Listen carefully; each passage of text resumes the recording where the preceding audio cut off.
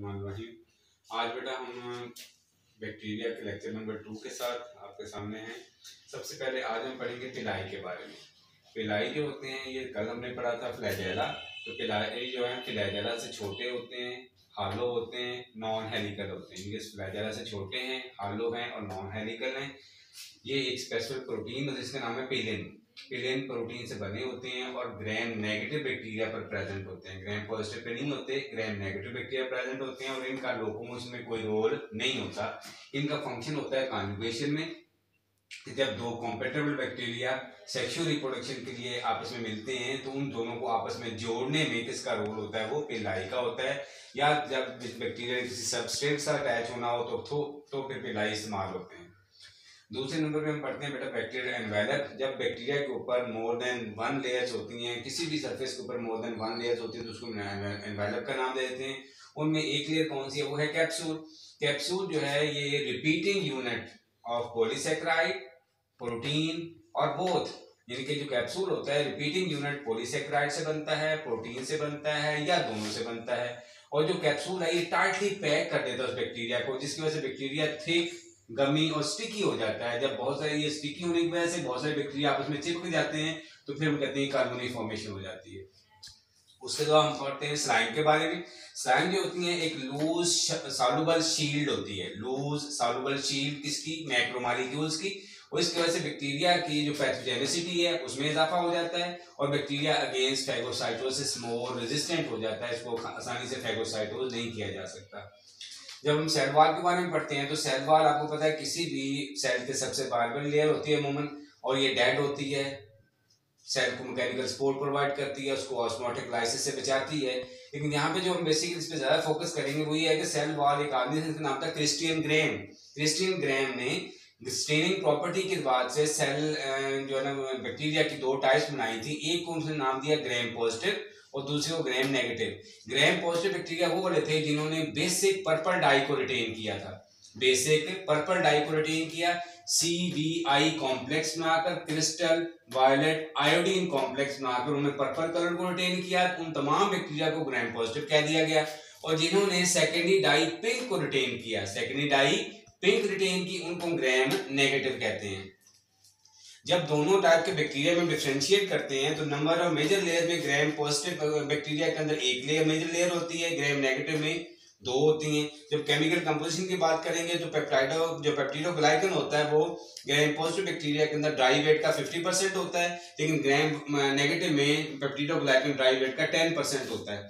इसके अलावा जो बैक्टीरियोग्लाइकन के अलावा ग्राम पॉजिटिव बैक्टीरिया के अंदर टिकोइक एसिड है? लिपोटिकोइक एसिड है?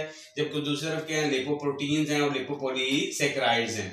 लिपिड्स फिर दोनों में मौजूद हैं। लिपिड जो होते हैं one two four percent gram positive के अंदर और ग्यारह से बारह परसेंट ग्राम नेगेटिव बैक्टीरिया के अंदर होते हैं। जब इनकी ओवरऑल थिकनेस की बात करते हैं तो ग्राम पॉजिटिव बैक्टीरिया जो होते हैं ट्वेंटी टू एटी नैनोमीटर की थिकनेस होती है जबकि gram negative eight to eleven nanometer होती है। अब हम पढ़ते हैं कि ये पेप्टिडोग्लाइकन एक्चुअली है क्या?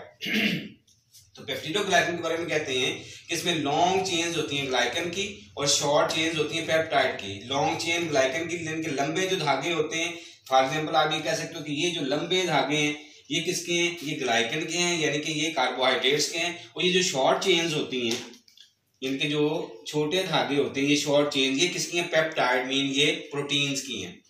दोनों जब मिलते हैं, इन ताने पाने के दरमियान फिर शुगर के molecules teichoic acid lipoteichoic acid, lipoprotein lipopolysaccharide वगैरह यहाँ पे डिपॉजिट हो जाता है। उस स्ट्रक्चर को हम क्या नाम देते हैं? पेप्टिडो ग्लाइकन का नाम दे देते हैं। ये जो हमने सेल वाल का स्ट्रक्चर पढ़ा है, ये यू बैक्टीरिया का है ट्रू बैक्टीरिया का है। जब आर्क्यू बैक्टीरिया जो है, उनकी सेल वॉल में बैक्टीरिया ग्लाइकन नहीं होता, उनकी सेल वॉल प्रोटीन्स की ग्लाइकोप्रोटीन्स की और पोलीसेक्राइड्स की बनी हुई होती है। जब हम और कुछ बैक्टीरिया ऐसे होते हैं जिनकी सीरियस सेल वॉल होती ही नहीं है, जैसे कि माइकोप्लाज्मा और कुछ बैक्टीरिया ऐसे भी होते हैं जो नॉन ग्राम पॉजिटिव होते हैं नॉन ग्राम नेगेटिव होते हैं, उनको कोई भी कलर वो रिटेन नहीं करते। हम बात करते हैं सेल मेम्ब्रेन की। सेल मेम्ब्रेन जैसे हमने चैप्टर नंबर फोर में सेल मेम्ब्रेन पढ़ी है तो सेल मेम्ब्रेन के अंदर बेसिकली हम कहते हैं कि एक बहुत डेलिकेट स्ट्रक्चर है, बहुत नाजुक होता है to some extent self repairable है, लेकिन ज़्यादा डैमेज हो जाए सेल की डेथ हो सकती है। अगर हम प्लांट और इसकी बैक्टीरिया की सेल वॉल में डिफ्रेंशिएट करें तो प्ला, प्लांट की जो सेल वॉल होती है उसमें अंदर स्टीरोज कोलेस्ट्रोल प्रेजेंट होते हैं जबकि ये जो होते हैं बैक्टीरिया इनकी सेल मेम्ब्रेन के अंदर स्टीरोज यानी कि कोलेस्ट्रोल प्रेजेंट नहीं है। बाकी फ़ंक्शन यही है कि most of the cell membrane होती है, इस मटेरियल की अंदर बाहर मूवमेंट में इन्वॉल्व होती है। जो चीज़ सेल के अंदर पास होनी है, वो इसमें से गुजर के जानी है, जो बाहर जानी है, वो इसमें से गुजर के जानी है। ट्रांसपोर्टेशन में इन्वॉल्व है, ये भी मैकेनिकल सपोर्ट प्रोवाइड कर रही होती है सेल को। और ख़ास तौर पर ये रिस्पायरेटरी इंजाइम्स की ट्रांसपोर्टेशन में इन्वॉल्व है। उसके बाद हम बात करते हैं साइटोप्लाज्मिक मैट्रिक्स की। साइटोप्लाज्मिक मैट्रिक्स हम कहते हैं कि ये एक बैक्टीरिया है, ये उसकी अगर हम कहते हैं सेल मेम्ब्रेन है तो सेल मेम्ब्रेन और दरमियान में जो इसका न्यूक्लियस पड़ा हुआ है, इसके दरमियान में सारा जो मटेरियल भरा हुआ है, ये सारा, ये साइटोप्लाज्मिक मैट्रिक्स कहलाता है। क्योंकि साइटोप्लाज्मिक मैट्रिक्स के अंदर मेम्ब्रेन बाउंडेड ऑर्गेनेलिज नहीं होते, इसलिए हम देखते हैं कि ये गाढ़ा होता है विस्कस होता है, लेकिन छोटे मालिकूल आसानी से इसमें मूव कर सकते हैं, तेज से मूव कर सकते हैं। इसके अलावा इसके अंदर हम कहते हैं प्लाज्मेट हो सकते हैं न्यूक्लियाइड होता है क्रोमेटिन बॉडी होती है राइबोसोम्स हो सकते हैं मेजोसोम हो सकते हैं, ये सारे स्ट्रक्चर्स के अंदर प्रेजेंट हो सकते हैं और ये कंसिस्टेंसी इसकी ज़्यादा होती है, गाढ़ा होता है, लेकिन छोटे मालिकूल के मूवमेंट में कोई रुकावट का बायस नहीं बनता। मेम्ब्रेनस ऑर्गेनाइज के ना होने की वजह से इसमें साइटोस्केलेटन भी नहीं होता इस वजह से हम कहते हैं कि इसकी जो शेप को मेंटेन करने के लिए को, इस कंसिस्टेंसी को बरकरार रखने के लिए निस्बतन गाढ़ा हो जाता है और छोटे मालिकूल के बारे मूवमेंट में किसी किस्म की रुकावट का बायस ये नहीं बनता। फिर हम न्यूक्लियाइड की बात करते हैं। न्यूक्लियाइड इसके यहाँ पे हम कहते हैं जो क्रोमोसोम होता है, क्रोमोसोम के गिर्द यहाँ पे कोई मेम्ब्रेन प्रेजेंट नहीं है। मेम्ब्रेन प्रेजेंट ना होने की वजह से इसका जो क्रोमोसोम होता है, डायरेक्टली साइटोप्लाज्मिक मैट्रिक्स के अंदर कहीं पे पड़ा हुआ होता है और जिस रीजन में पड़ा हुआ है, उस रीजन को नाम देते हैं न्यूक्लियाइड कह देते हैं उसको उसको क्रोमेटिन बॉडी कहते हैं या इसको न्यूक्लियाइड न्यूक्लियर बॉडी कह देते हैं। उसको न्यूक्लियाइड कहते हैं, क्रोमेटिन कहते हैं या उसको न्यूक्लियर बॉडी का नाम दे दिया जाता है। जहाँ पर जिस रीजन में पड़ा हुआ है, क्योंकि इसके गिर्द कोई मेम्ब्रेन नहीं होती, इसलिए इसकी कोई डेफिनेट शेप भी प्रेजेंट नहीं है। फिर हम बात करते हैं प्लाज्मेट की तो बैक्टीरिया में इस क्रोमोसोम के अलावा कुछ और भी सर्कुलर फॉर्म के अंदर डीएनए के मालिक्यूल होते हैं। तो ये सर्कुलर फॉर्म के अंदर जो डीएनए के मालिक्यूल है, इनको हम प्लाज्मेट कहते हैं। प्लाज्मेट के ऊपर दो बेसिक टाइप के जीन्स होते हैं। एक हम कहते हैं कि इसके ऊपर रेजिस्टेंस के जीन है, और दूसरे उसके ऊपर फर्टिलिटी के जीन है।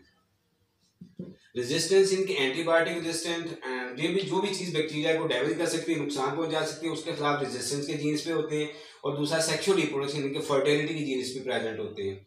अब हम बात करते हैं किसकी? राइबोसोम की। तो राइबोसोम कहते हैं इसके साइटोप्लाज्म मैट्रिक्स के अंदर।